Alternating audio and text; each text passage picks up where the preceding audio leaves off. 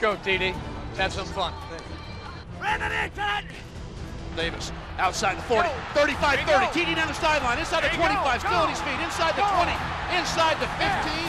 First down, Denver. TD right now making a lot of Packers miss. Elway, handoff, Davis into the end zone, touchdown! Davis. Davis to the six yard line and a first down. I get kicked. I remember just feeling a thump on the top of my head. And I think Davis may be shaken up. Terrell Davis is on both knees at about the seven yard line. He was, he And was, this would be costly for the Broncos. All of a sudden, my vision starts to go out again. I said, Mike, I can't see. I need to let you know. Of course, he says, Well, TD, you don't need to see, but we need you in the game.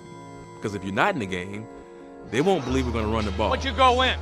Why don't you go in for the half, relax a little bit.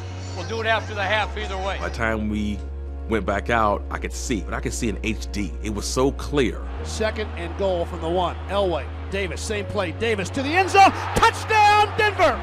Davis with the salute. Handoff, Davis, left side behind Howard Griffith. Nice hold. Davis, 50, 10, 5. Davis!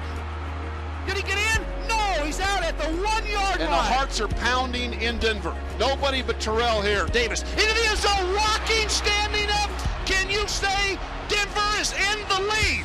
Denver's going to win it.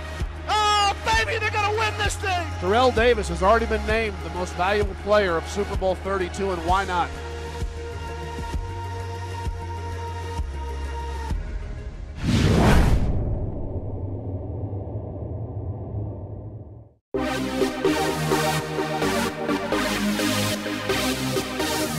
We'll